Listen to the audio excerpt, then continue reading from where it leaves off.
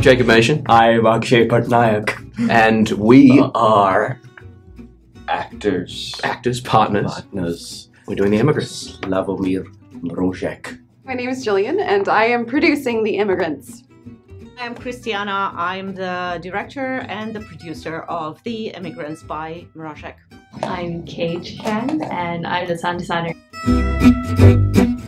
Is it's, it's timeless. It's two people out of their home country, out of their comfort zone, trying to make ends meet, trying to survive, trying to uh, live their lives or grow or build new lives. I, I really um, identify with this world and with the struggles and with the uh, with the comedy of it as well, with the with the fun of it, because I grew up making fun of the really tough stuff in order to be able to survive. So um, yeah, that's um, that's why I'm doing The Emigrants. This text, even though it's from a while ago, is incredibly relevant to where we live right now. Um, and the types of, of, of problems and opportunities that we as a society are grappling with. Um, one of my own side hustles working in a restaurant. I'm, I meet the kitchen staff, or I meet my fellow waiters and waitresses, and they're out there, they're working multiple jobs, and it feels like this, the immigrants, feels like their story as well as my story.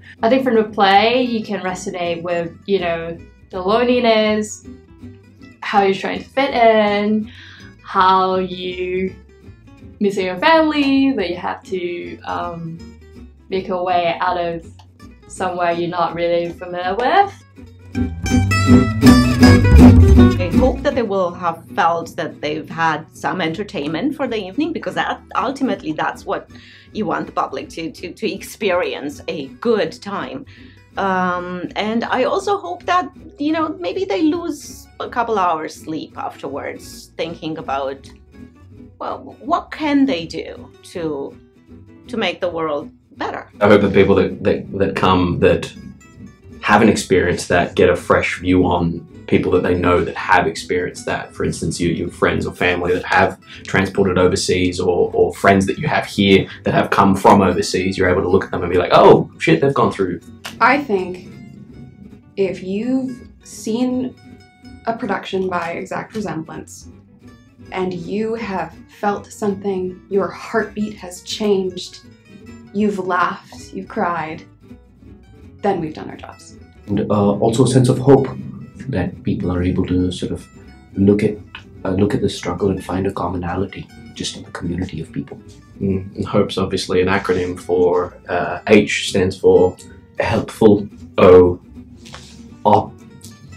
opportunity, P, pleasure, E. entertainment. We're exact resemblance. Come see our show.